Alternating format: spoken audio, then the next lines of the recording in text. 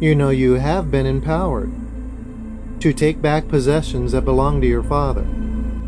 But to do this, you must first know what area this battle exists in before you attempt to set free those bound in this world. Different areas require different tools. Those entangled in the world battle with desire. Those imprisoned by the flesh battle corruption. But those battling surrounding spirits have been given authority over all of them. Don't mix these because more damage can be done to the imprisoned. You know, you cannot cast out the flesh, only the enemy and this spiritual realm. Those battling the flesh fight a destructive corruption. These tools are in the Bible and can provide regeneration. You cannot bind the world. This is a system of desire and gratification. This takes renewal of the mind.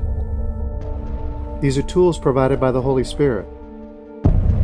But you can bind the strong man and spoil his goods.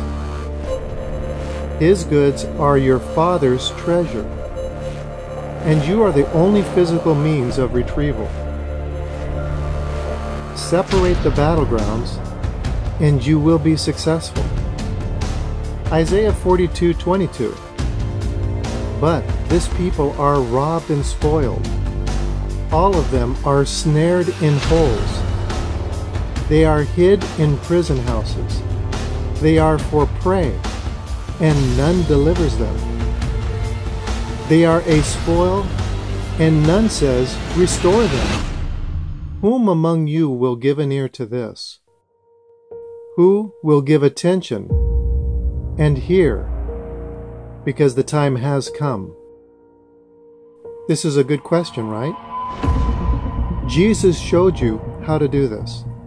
He left instructions and the Holy Spirit to walk you through. What are we waiting for?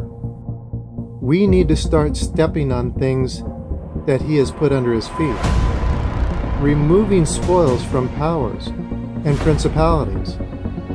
Colossians 2:15 Having spoiled principalities and powers, he made an open show of them.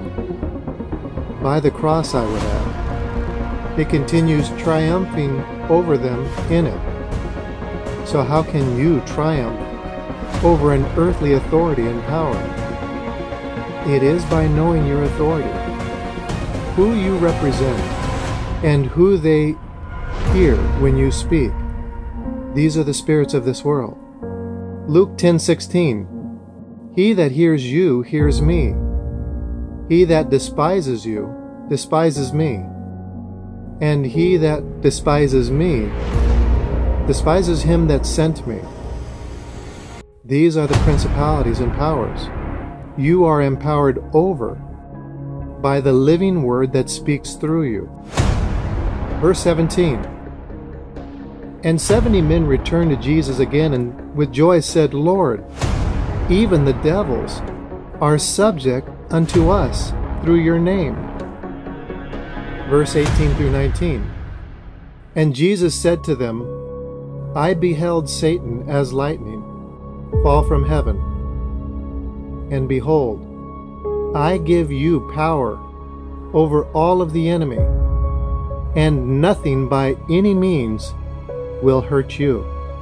Two things you've received when Jesus received you to himself power to become sons of God and power in his name. John 1:12 To as many that received him to them he gave power to become the sons of God, even to them that believed in his name.